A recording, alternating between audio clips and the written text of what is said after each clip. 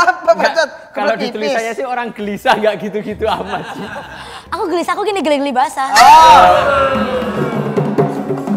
Ya Mas Kaisang sih. Iya. Yakin emang. Ya boleh nggak? Nggak apa-apa ya. Kita panggilin. Tapi udah gua kunci sih pintunya. Ya kalau dipanggil dikunci nggak bisa masuk. Tapi galak nih bapak ini galak. Galak loh. Kemarin ayam ketawa dibentak dia langsung ciut. Lagi ketawa padahal. Heeh. Lah itu pas bapak itu lewat depan tempat karaoke Happy Papi jadi set Papi. Gak happy lagi. Yakin nih. Tapi sebelum Mumpung itu satu koalisi. Oh iya, kalau dulu nggak mungkin diundang ya? kenapa ya itu? iya. Enggak kan kita udah pernah ngundang Pak Prabowo kan ngomongnya gemoy gemoy hampir sama ini. Ya udah deh, boleh deh. ya? Udah, kita harus siap nih Ki. Berarti harus siap. Saya openingnya nanti pas dia masuk apa sekarang aja? Ya habis ini aku keluar opening. Oke. Aku tak opening ya. Ya opening dulu opening. Mending. Ih tapi gak ini ngapain sih? Ini. Oh, sini ngobrol lagi. Kayak ngobrol. Takut, takut, takut, takut. Selamat datang di PDP, podcast dengan pengkritik pemerintah.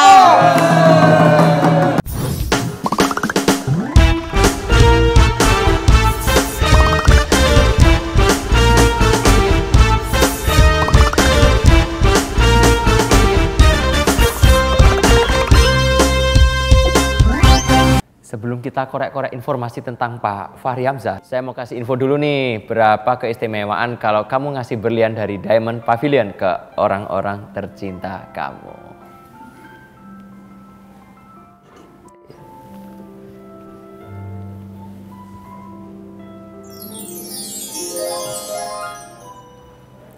Yang pertama, semua koleksi berlian dari Diamond Pavilion modelnya super cantik, mewah dan yang pasti sudah tersertifikasi dengan kualitas warna F dan kejernihan VVS. Yang kedua, harganya sangat kompetitif dan ada jaminan beli kembali dengan harga yang bersaing. Diamond Pavilion dari Semar Nusantara membuat semua pencapaian kamu menjadi tidak akan pernah terlupakan.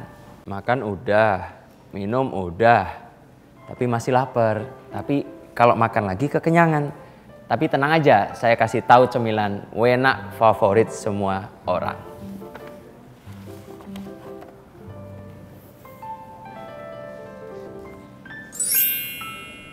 Ini dia bakpia satu hati. Dibuat dengan bahan premium berkualitas tinggi sehingga menghasilkan cita rasa bakpia yang otentik dengan rasa yang unik. Bakpia satu hati punya enam varian rasa, original kacang hijau, coklat, kumbu hitam, keju, durian, dan yang pasti ada yang paling spesial yaitu strawberry cheesecake. Bakpia satu hati dari Jogja buat kamu. Udah boleh masuk nih? Wah, boleh. Udah Boleh. ya? Nah nih, bawa jagoannya kita nih.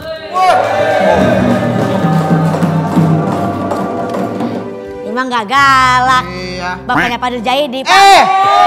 Kamu! Ah, Pak Mu. gua kepret Ki. Katanya kepret. Dari loh. Pak Mu tahu. Kayaknya ngomongin gue nih tadi. Di mana duduknya nih? Boleh di situ, boleh di kursi. Kenapa sih kok kayak bingung banget? Sekarang nggak dapet kursi emang. Belum. Belum. Kan baru partai baru. Iya, sabar. Eh, waketum loh. Ini atasan saya. Gitu. Kirain galak, sekarang lembek banget. Aduh. Disenggol terus Nggak mau disenggol udah wudhu. Tapi Pak, betul ya tadi kata Mas Kesang pindah ke partai kecil. Dipecat. Oh, oh dipecat. Dipecat. Oh, iya. Dipecat. Tapi kenapa sama aja sih? Dulu kan di PKS. Ya. Sekarang juga PKS. Apa tuh? Partai kecil saya. Bahagia kecil saya. Ya kan harus eh, memulai sesuatu Dari Pertamina. Dari nol. Dari nol. Dari nol. dari dari gagasan awalnya. Kalau sekedar ikut-ikutan, ya kan nggak asik. Dan figur-figur baru, masa dia dia mulu? Kan kita mesti berubah juga dong. Partai yang sekarang bukan orang-orang lama juga isinya? Ya orang baru tuh mewakili pikiran-pikiran baru. Karena kalau di tempat lama tidak ada ruang gerak, kan Undang-Undang Dasar bilang negara menjamin kebebasan kita untuk berserikat, berkumpul, menyatakan pendapat. Ya udah bikin organisasi baru, membawa gagasan baru. Kalian di tempat lama tidak diterima. Tidak diterima. Banyak banyak kepala maksudnya loh. Enggak, tapi Bacot. Kenapa harus bikin kayak apa namanya kan ini kayak gelora kan namanya kayak jauh banget kan sebelumnya PKS kenapa nggak ditambahin perjuangan gitu PKS perjuangan. Kayak Partai tandingan jadinya ya. Iya iya iya iya. Ini ny- nyindir saya apa nyindir sana ini? Semua kena. Semua kena kan dulu kan juga sebelumnya kan PKS kan awalnya juga partainya cuma PK aja kan Ya, habis itu ditambahin karena sejahtera. tidak lolos threshold, Iya. ditambah S-nya. Kalau kita kan memang ada gagasan baru yang ingin kita perkenalkan kepada masyarakat. Ya, misalnya Apa nih, itu? Ya. konflik ideologi kita hentikan. Maksudnya? Ya antara ekstrem kiri, ekstrem kanan, ada yang dianggap akan mendirikan negara kom- komunis di kiri, ada yang dituduh mendirikan negara Islam di kanan. Sudahlah itu udah selesai. Sekarang kita ke tengah sudah punya Pancasila, sudah punya NKRI, ya sudah. oh jadi yang partai sebelumnya mau Itu, mendirikan partai apa eh, ada negara. Islam gitu. Ya sebenarnya Kan biar jelas karena tuh milenial tuh banyak orang yang masih awam biar pada melek politik semua Iya, gitu Pak. melek. Iya, jadi butuh paham. gagasannya pertengahan gitu. Nah, yang kedua, sebaiknya kita memperbaiki beberapa konsep kita dalam bernegara, ya. Seperti misalnya eh, pemilunya harusnya terencana dengan baik. Kayak sekarang kan, karena tidak terencana, tiba-tiba di ujung sudah capres aja yang kita ributin. Padahal harusnya kan antar partai dulu diuji. Beda antara partai ini apa. Nanti setelah itu antar caleg, beda calegnya apa. Baru nanti capres di ujung.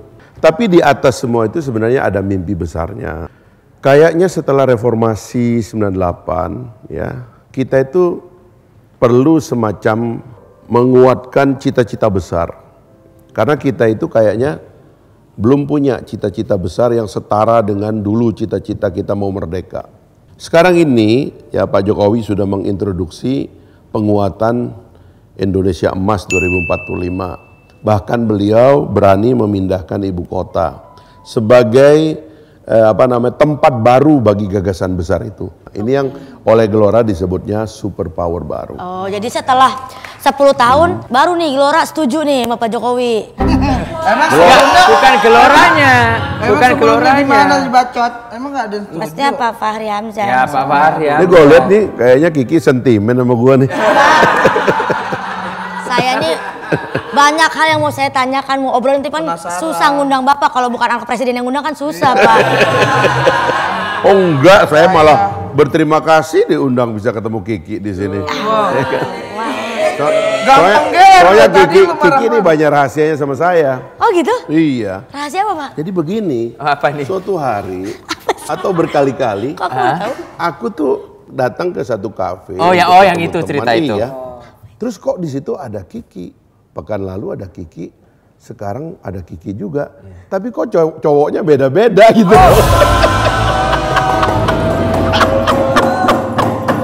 Ini yang se- Sebentar, ini kapan bacot? Mas Fahri aku nggak suka dibongkar.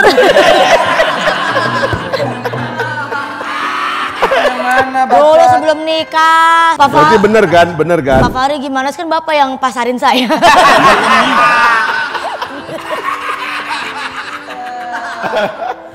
Emang PKS banget ya. Kenapa emang? Pemantau Kiki Saputri. enggak enggak Ya kan dulunya. ya dulunya tapi nggak bisa masuk nanti Pak Fahri Oh iya, soalnya beda gagasan. Iya. iya, karena gini, kalau PKS kan ini eh, tagline-nya kemarin kalau nggak salah PKS menang, ibu kota tetap Jakarta. Ya. Sedangkan Gelora enggak, Gelora kan ke IKN. Gelora Bung Karno. Gelanggang Partai, partai, Iya, iya, partai, iya, iya. partai.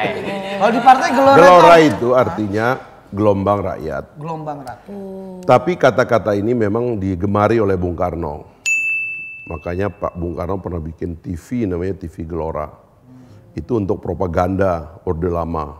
Karena itu kata punya tenaga. Maka kita pilih jadi nama partai. Kira-kira begitu. Karena mau propagandain PKS, Pak. Siapa yang sentimen sekarang. Ini pembalasan dendam anaknya kepada bapak. Eh paling netral itu cuma Oh enggak. Cuman Gelora itu sama dengan solidaritas, sama aja. Nah makanya tadi kita sempat di awal kan pas tahu bapak mau datang ke sini kita kan takut ya. image-nya kan dulu tuh yang terbangun adalah galak. Ya. Kita sempat mikir bapak tuh dulu mantan vokalis metal. Iya karena sekali bersuara keras banget. Keras banget. Ya dulu kan begini. Pertama ya, ada problem kultur. Saya ini orang Sumbawa. Maka orang-orang sana itu jarang yang ngomong tuh halus. Nah, sama juga kalau orang pernah menjadi komandan Kopassus, suaranya juga harus keras. Gitu. Bukan berarti marah gitu maksudnya pak. Bukan. Itu Ini kan, nah ngomong-ngomong karena udah mulai kayak masuk ke Pak Prabowo ya. Emang iya. belum. Gua, gua dulu dong, ini mau cerita dulu. Oh ya, oke. Ya. Untuk menuntaskan dia, karena gini, banyak orang menganggap saya berubah. Iya. Saya tidak berubah. Pertama, suara saya tetap keras. Yang kedua, saya dulu itu pejabat. Tugasnya itu memang beroposisi kepada pemerintah. Siapa pun pemerintahnya, kalau dia presidensialisme, maka kita itu ada di kamar yang berbeda dengan eksekutif. Maka dia harus bicara terus. Jadi kok roasting presiden boleh, Pak? Boleh. Siapa? Harus jadi caleg dulu. Lu jadi caleg dulu baru aman lu. Besok-besok kena lapor Sekarang juga aman kan teman anaknya. sampai kapan? Menang dong tolong. Harusnya lu harusnya lu nyalek Ada. harusnya lu nyalek gelora lu harusnya lu. Oh dari Gelora tuh diajak. Karena aku emang cewek-cewek bergelora. Kok ke situ jadi? Kaget. jadi buka, udah kena saya orang dari timur suaranya keras, jabatannya ge- legislatif dibilang kasar, keras. Enggak memang begitu. Emang tugasnya itu ngomong aja ya, kerjanya enggak. Kalau mau tahu, Maksudnya Bang. kalau Emang kerjanya ngomong. kalau mau tahu yang sebenarnya bergaul sama saya. Aku udah punya suami loh, Mas. nanti nanti gue yang bilangin dah. Kiki sok mahal aja.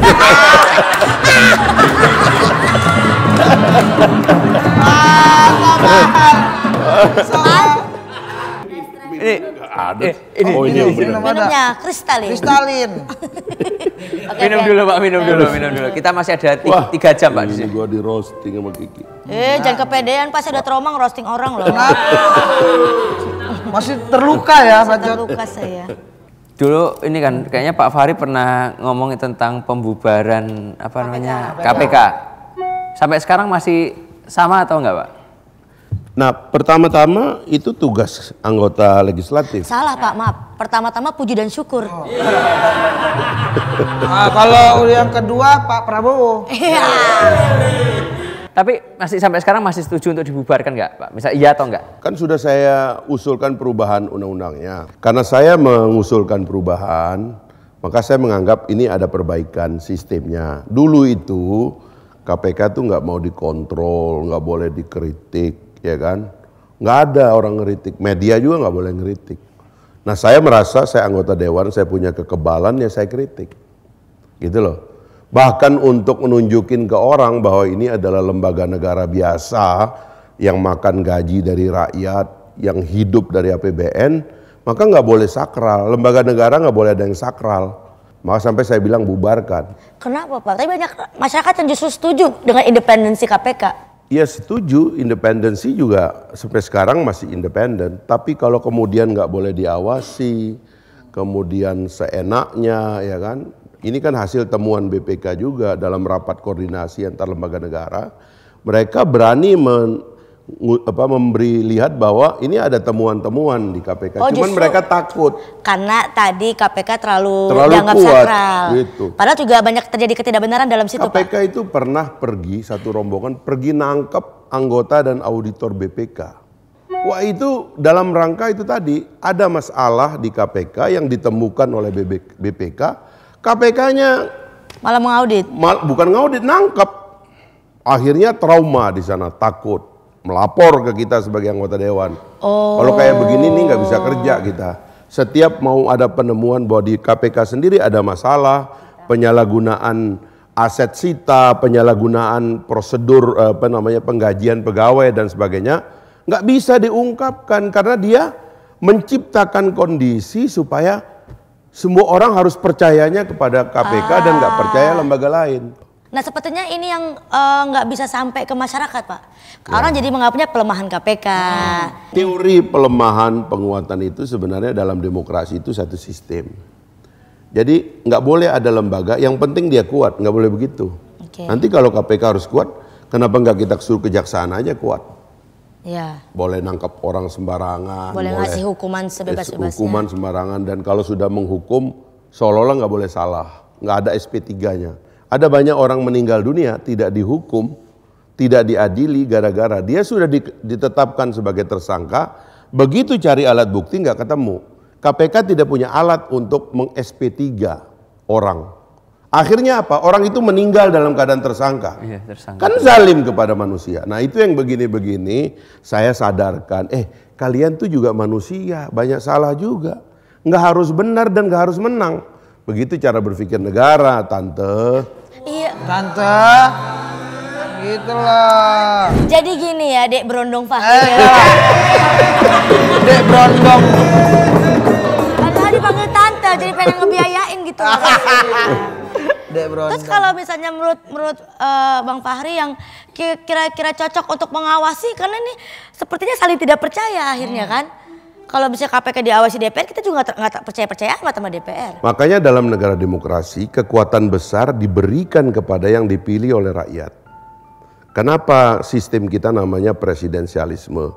Karena kekuatan pertama yang diberikan rakyat presiden. Kuat banget presiden. Mungkin Pak Jokowi juga nggak sadar ya betapa kuatnya presiden itu ya. Kita sadar sih Pak. Kita sadar kuatnya Pak Jokowi karena anaknya bisa jadi ketum dua hari kan. Oh itu lain cerita. Lain cerita itu Oh, nanti saya itu. ceritakan. Kata Mas Kesang, gua lagi aja Gua lagi ya. ada. Jadi begini. Gua dah. Iya, mereka yang gaji gua dah.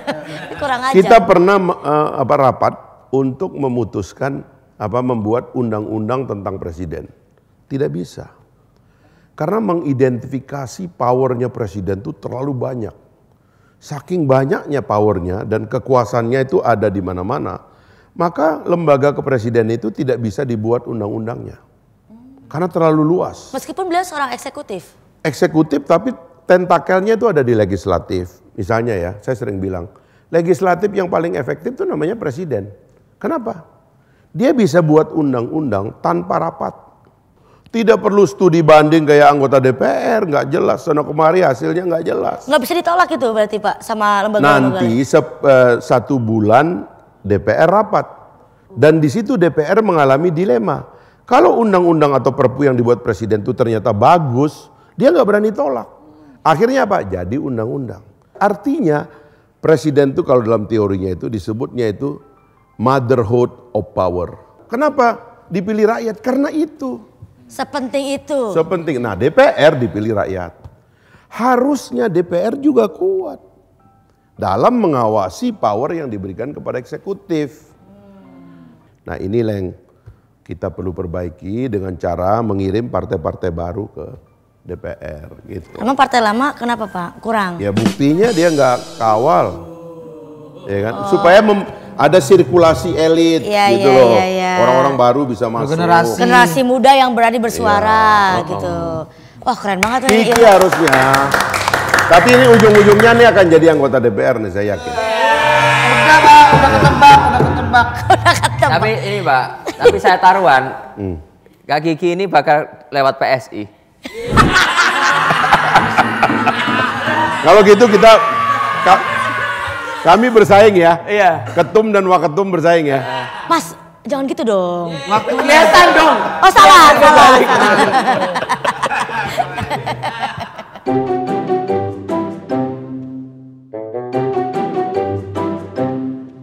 Obrolannya tuh terlalu seru, tapi jangan sampai kita terdehidrasi. Jadi jangan lupa minumnya kristalin aja, lebih aman dengan kandungan pH 8 yang baik untuk tubuh.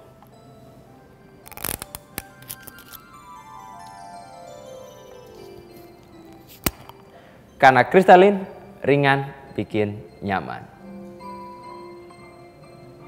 Tapi ada ini nggak sih Pak Fahri setelah Ya. 2019 kan udah nggak menjadi pejabat publik lah. Ya. Terus sekarang ngapain? Selain ngurus ngurus partai nganggur gitu. Jadi saya itu Gak nganggur dong bahasanya. point banget. nih waktu 2019 saya eh, habis dipecat tuh ya, nggak ada salahnya sih dipecat nggak ada salahnya gitu. Ada pastilah. Ada Nggak Pak, ada. ada Pak. Menurut Nggak yang ada. bersangkutan pasti ya, ada. ada. Kamu Ada. boleh cari. Kalau ada gue kasih duit deh. Bantu ya. Bantu Kita cari. cari tahu. Bantu cari. Teman-teman kan ngajak masuk partai, ya kan? Berapa Pak Pak itu? Nah cuman saya mikir, aduh udah 21 tahun kerja di Senayan, coba saya tarik nafas, kita cari waktu untuk diri sendiri, untuk keluarga kan kita cari bisnis, ya properti, jual beli tanah, ya kan. Kemudian bikin tempat-tempat yang, saya juga punya kafe yang bagus loh, nanti aku ajak teman-teman kalau mau. Iya itu kan tempat Bapak masarin saya kan. HP barunya itu. Udah deal ya? Ini kayaknya orang bakal nganggapnya bener dah kayaknya. Kayak kayak jualan pisang goreng aja tuh. Kalau dulu kan memang ya tadi Bang Fahri bilang punya posisi mengeluarkan beberapa statement untuk mengawasi juga jalannya pemerintahan termasuk Pak Presiden. iya. Nah kalau sekarang setelah ada Gelora, apakah karena Pak Prabowo-nya jadi akhirnya satu suara dengan Pak Jokowi atau bagaimana? Pertama, kalau partai kan belum punya portofolio dalam pemerintah. Jadi ini bisa dibilang eh, startup company. Dia belum apa namanya IPO. Kalau kita belum IPO itu kayak startup company itu ya eksperimennya itu bisa lebih bebas. Dalam proses itu kita menemukan gagasan rekonsiliasi, pentingnya Pak Prabowo dan Pak Jokowi bersatu. Tapi Itu pada- meredakan begitu banyak ketegangan sehingga kita sukses menghadapi Covid, sukses menghadapi perang Rusia Ukraina, ketegangan Laut Cina Selatan dan sekarang ini ada perang Palestina dan Israel. Tapi jadi nggak ada oposisi nggak sih Pak? Nah, itu tadi yang saya bilang, legislatifnya harus diberikan kebebasan untuk bicara. Supaya jadi legislatif yang Jadi berjuang. meskipun ketua partai kita itu ada di dalam kabinet, legislatif harus tetap independen. Tapi pas ditanya legislatifnya kita nggak bisa apa-apa tergantung ibu. Masih ada itu. Bisa iya. nggak sih? Nggak ada itu. Itu pet- itu yang ini petugas Pak. partai. Yang ini Pak videonya Ya, Pak. itu. Usah. Ini Korea-Korea itu ya. Daripada gambar mendingan saya ambil aja ya. Orangnya. Orangnya. Oh, itu. Langsung klarifikasi. Kaget kalau tidak Ada pa- ada ada ada paculnya doang. Tuh kan Orangnya benar, ada. ada ibu juga ini. Ibu siapa? ayam remuk Bu Mul. Wah. Beneran itu ada ibu. Nah tadi saya mau niat mau makan di sini. Karena saya nonton PDP ini kok saya lihat banyak makanan. Betul. Iya, saya, saya salah satu daya tarik saya ke sini nih. Karena mau Makanan. nyoba banyak makanan. Ya Allah kasihan banget udah nggak bisa makan Pak sekarang. Sambil kepikiran kali, kepikiran. Tapi ini berat nih nggak bisa dimakan di sini. Kenapa kok? Kenapa? Lagi diet. Ayam remuk Bu Mul, ayam goreng tulang lunak dengan bumbu kuning dan rempah homemade tanpa pengawet. Pokoknya ini empuk sampai ke tulang-tulang. Nah. Pak, seberapa pengaruh sih Pak istri Bapak di rumah atas keputusan politik Bapak? Iya, kan pasti ada deg-deg sernya Apa, juga Pak. apa sambil dibisikin tidur? ya, ayo kritik Jokowi.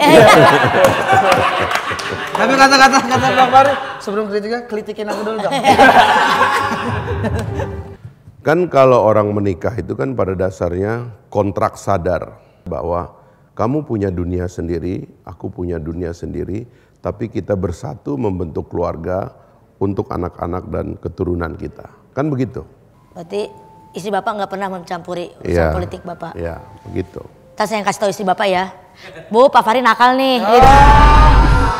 Kan waktu itu dia ngeliat lu sama cowok, lu pernah ngeliat? sama cowok juga. Sama cowok juga. Meeting, meeting, meeting. Jelaskan kepada kami dengan tiga kata saja. Kalau di rumah tuh sosok seperti suami atau ayah yang seperti apa? Tiga kata. Baik, baik, baik. Nggak cukup bro, kerjanya mana? Iya. Kerja, kerja, kerja. Baik, baik, baik. Orang baik Kan ini untuk di rumah. Ya kan juga istrinya butuh suaminya kerja. Ya tapi butuh suami baik juga. Mungkin emang Pak Fahri ini kayak Pak Muh kalau di rumah kali ya. Suka lagi-lagi. Ngapain sih lu, Din? Astagfirullahaladzim. Ya? Astagfirullahaladzim. Ntar pas ngomong gitu ada Pak ada Pak Pak Mu di sini Pak Mu ntar ada. Fadil, Fadil katanya. Dil, dia gue kepret lah, Dil. Coba, gue kepret lu, Dil. Coba, coba, coba. Apa? Enggak, Ayo dong. Ntar jadi beneran. ntar. Lucu. Ya, lucu, lucu. Harusnya gue pakai sarung tadi. lucu banget ya. Tapi gaji itu besar nggak sih Pak sebagai anggota dewan? Dan habis itu dapat pensiun nggak ya? Anggota dewan itu eh, makin lama gajinya makin besar. Dan bahkan sekarang ini ada dana konstituensi yang juga makin besar. Di zaman saya dulu kita mengatur regulasi tentang dana konstituensi supaya anggota dewan tuh nggak boleh dia menjadi caluknya eksekutif. Karena dia adalah kamar yang independen. Anggota legislatif itu kalau ngasih, sekarang nih kebanyak tren nih saya dengar nih ya. Dia nyumbang ke rakyat tapi uangnya dari eksekutif. Atau kadang-kadang malah dari BUMN, dari CSR. Akibatnya sebenarnya dia utang budi kepada pihak yang harusnya dia awasi. Nah itu besar mas. Artinya anggota dewan itu cukup hidup terhormat lah, nggak perlu korupsi, nggak perlu mencuri. Harusnya. Harusnya. Tapi karena utang budi tadi. Nah ada sistem lain, nah, ini juga eh, Mas Kaisang sebagai ketum nanti perlu memikirkan ini, yaitu bahwa partai politik kadang-kadang secara sadar menyuruh pejabat publik cari uang. Itu harus kita hentikan. Dengan cara dimodalin dulu. Bukan. Maksudnya itu partai politik itu mata-mata anggarannya dan biayanya itu harusnya independen dari ada atau tidak adanya itu pejabat publik dalam partai itu. Kalau saya usulkan di Indonesia itu harusnya dibiayai oleh negara. Kenapa? Karena hanya dengan cara itu kita menghindari masuknya eh, biaya-biaya yang bersumber dari pembiayaan yang tidak bisa diaudit. Oh, tapi bukan negara Indonesia juga memang punya jatah Pak buat membiayai partai politik. Ada Sekarang- sedikit. Oh, sedih. Sedikitnya tuh berapa sih Pak? Belum sedikit, berani. sedikit Dihitungnya itu dari jumlah suara. Dulu itu pernah cuman satu suara dihargai kalau nggak salah seribu perak kalau nggak salah. Jadi misalnya eh, Kiki milih saya nih ya, partai ya. Nanti diakumulasi orang yang milih partai itu berapa. Nanti dikali seribu perak. Nah, baru dikasih. Itu kecil kalau nggak salah. Apalagi PSI Pak lebih kecil lagi. Tapi kan udah, udah suara udah jutaan kan? Sudah ada, lumayan dia. Ya tetap Lumayan. sa- kalau jutaan kalau kali seribu juga berapa? Anaknya eksekutif nih, dapat dana nggak dari eksekutif? Eksekutif loh, nggak bisnis loh itu. Mah fair Pak di sini. Siapa aja kita sikat. Iya, ya, Pak Bari kemarin ketemu nanya gitu, emang nggak bahaya bahas-bahas abangnya? Di sini ya. Ih, Pak Fahri kok takut? Emang kita enggak? Takut. Gua bercanda. Takut ada ya, main game, main game, main game. Oh, ada game. Ah, main game seru nih. Nama gamesnya adalah sesuai dengan jabatan Pak Fahri sekarang. Apa tuh? Wakil. Jawab kilat. Wakil. Jawab kilat. Wakil. Diambilnya wah sama kilnya pokoknya. Wakil. Jawab kilat. Jawab. Ini jawab sekilat-kilatnya nih, Bang. Ada Pak. Oke, siap. Ternyata Pak Fahri takut dengan Allah. Bentar. Kan ada kalimat ternyata ya. Kan kalau misalnya takut Iya. sama Allah mah emang semua orang takut. Iya. Kok ternyata? Kan baru tahu berarti, gitu. Berarti sebelumnya enggak? Siapa? Ternyata, kok kan ternyata Iya, ter- yang orang nggak tahu. Ya ternyata lu yang nggak tahu. Takut dengan sosok siapa gitu, Pak? Iya, ya udahlah nggak apa-apa. Next. Eh, apa apa rahasia Pak Fahri yang istrinya belum tahu? Nah, Istri saya tidak tahu bahwa kalau dia sedih, langit bisa mendung. Mendung tanpa udan. Bara-bara kali ah istrinya. Kalau dia sedih, dibikin hujan. iya. terlalu aman nih jawabannya. Terlalu aman ya. Main retorika sama saya. Bukan retorika itu romantis kali, eh payah juga Ih, nih. itu kuno banget, Pak. Oh kulo Coba yang baru kayak apa coba lu? Nggak, nggak anak senja banget. Istri saya tidak pernah tahu kalau dia sedih, saya lebih sedih. Oh, lantas. Tapi yang jelas itu pura-pura karena dia perempuan. Ya kan saya ngajarin bapak tadi biar. Oh iya ya. itu perlu dibayar nggak itu pelajaran? Kalau perlu dibayar itu ya kita bayar lah nggak apa-apa. Enggak usah lah pak, masa iya kalau ya Sama keluar- temen keluarin- aja. Keluarin aja semua ya. Di rumah siapa yang lebih galak? Nggak kedua-duanya.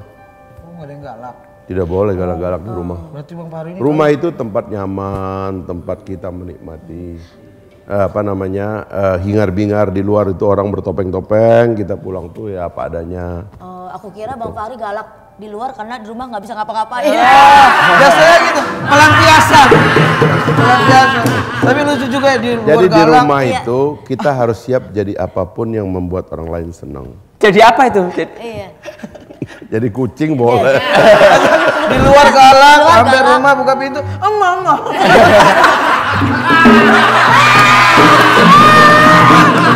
Di luar ya kan Pak Jokowi KPK itu sampai rumah Pak Jokowi nakal. Siapa tahu. Ai mau apa? Ai mau apa? Ai, ai, ai. Panggilan saya Ai. Ai aja.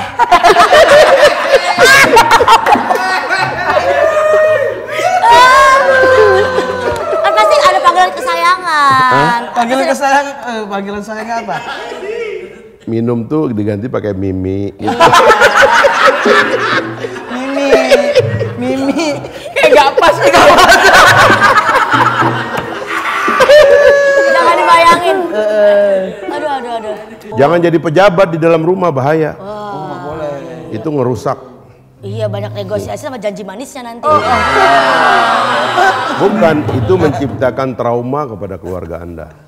Jadi biar rakyat aja yang trauma ya Pak. Iya.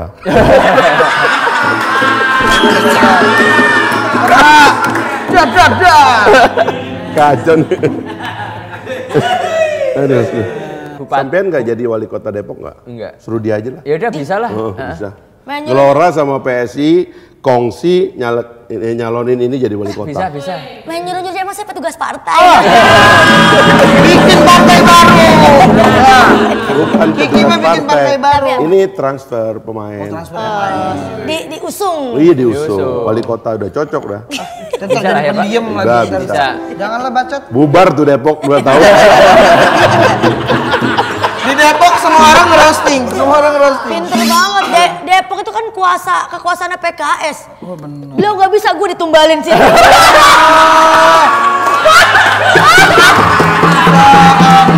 Hampir kejebak, hampir kejebak. iya. Masa saya harus berjilbab dulu gimana? saya nggak mau ya. Gak usah berjilbab nggak apa-apa. Emang boleh. Boleh. Emang boleh. Ntar, ntar pas masuk Depok, emang boleh segelora itu. Aduh. Ampun deh. Eh Depok kota pelajar bukan kota main-main. Banyak mahasiswa, orang-orang serius. Ah, saya kira- Cocok Kiki. saya kira kota penyanyi. Wali kota nyanyi di lampu merah. Hati-hati di jalanan, jangan ugal-ugalan. Bila naik kendaraan, jangan kebut-kebutan. Jangan sampai orang bilang engkau pengganggu jalan. Seperti orang bingung, tak tahu peraturan.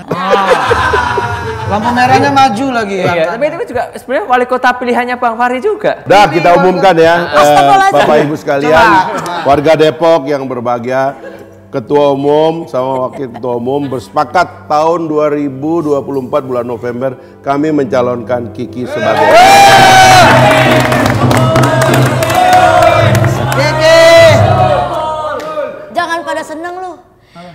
Gelora gabung PSI, nggak ada satu persennya PKS. Harusnya PSG sama Gelora gabung jadi Do- PSG. doanya jelek, doanya jelek banget. Padahal gua udah mau suruh jadi bintang iklan tadi. Pilihlah wanita bergelora gitu ya Pak ya. Tapi kita nggak tahu ke depan nanti Gelora membesar, PS juga di tangannya Mas Amin. Kaisang juga sekarang udah Kabul. kelihatan banget nih. Kobul nggak boleh bilang gitu. Emang, emang kenapa kok kayaknya alergi sekali dengan Amin? ada alergi, alergi. Ag- alergi sekali. Alergi sekali. Pak, Anda Pak, sekarang pandai retorika? dibalik-balik Retorika itu boleh. Udah Mas Ate, Mas Ate udah lah. Ada aja. Oke, ah. Dah Nah, langsung. Aduh. Pak Fahri, Ya. masih geli aja ketawa. Seneng ya kayak lagi kedufan bapaknya main. Senang. Biasanya Kiki kan kalau di PDP PDP lain saya lihat dia perannya sebagai eh, mbak-mbak gitu kan. Sekarang kok serius banget jadi kayak dia yang moderator gitu. Lah, Mas Kaisang mah cuma di situ buat ngamanin kita berdua. Backingan Tapi kita. emang yang ngomong mas saya namanya juga bacot. Oh gitu ya. Cuman Ya kalau kemarin kan pakai daster, Pak. Jadi benar sudah itu caleg ya udah atau ini wali kota Wali udah. kota udah bisa. benar. Kok balik ke situ, Pak? Enggak ini. Aku kita ini lagi nyari calon dari kemarin baru ketemu sekarang rupanya. Wali kota. Udah Ki. Tim pemenangan, tim pemenangan. pemenangan. Nanti gue tim pemenangan. Besok saya kalau ngomong tiba-tiba Om Swastiastu, budaya gitu. Salam kebajikan. Terakhir nih, Bang Fahri, Mas Kaisang silakan. Gimana sih? Mas. Siapa yang menurut Bang Fahri nanti jadi. Kalau pasti arahnya ke situ. Pertanyaannya pasti berubah emang kalau Mas Kaisang nanya. Padahal, padahal Bang Fahri udah lihat di prompter. Oh pertanyaan itu, gue siapin jawabannya. Pertanyaannya beda. Gak apa-apa. Ya, menurut Pak Fahri 2024 pemilihan presiden nanti satu putaran atau dua putaran? Kok jadi begini sih? Eh, Gak apa-apa. Bukan, ini kayaknya sekongkol dikasih kampanye di sini. yang ini apa yang ini tadi? Yang ini. Oh, yang ini ya? Yang ini yang mutlak. Udah dihapus Pak. Oh. Ya, eh, saya percaya dengan gagasan yang kami eh, bangun. negara perlu rekonsiliasi dan kita perlu figur tengah yang moderat yang membawa ide eh, keberlanjutan supaya negara itu moving forward. Ya, Pak Jokowi sudah memutuskan eh, melalui undang-undang perpindahan ibu kota, kita akan keluar melihat Indonesia dalam horizon yang jauh lebih luas lagi, eh, tidak terlalu apa namanya bergumul di daerah-daerah yang sangat padat, yang perlu penataan di masa depan. Pulau Jawa sudah diberikan Jakarta apa namanya eh, speed train Jakarta Bandung yang akan lanjut sampai Surabaya. Kemudian ada LRT dan infrastruktur lainnya. Ini akan dimodernisir. Tapi 100 tahun Indonesia perlu tempat baru untuk eh, apa merang atau melompat menjadi eh, kekuatan besar di dunia. Karena itu figur tengah itu eh, menurut saya bisa menjadi sumber kesepakatan rakyat bahwa dia yang kita pilih sehingga ada kemungkinannya yang di tengah ini bisa hanya satu putaran. Gitu. Itu itu tadi cara kampanye yang agak retorika tadi. Iya. Agak. Nah, Belajar ilmunya Kiki di Twitter. Hati-hati. Hati-hati. Sudah, sudah dipantau saya sejak lama. Dipantau. ternyata. Udah ya. Eh tadi apa PDP tadi singkatannya apa? Podcast dengan pengkritik pemerintah. Oke. Sekarang Sekarang, udah, beda. iya. Terima kasih sudah menonton PDP podcast dengan penjilat pemerintah. Tapi sadis. Ini ujungnya jelek, ujungnya jelek banget. Aduh. Nanti dari satu jam pembicaraan yang ke TikTok yang ini.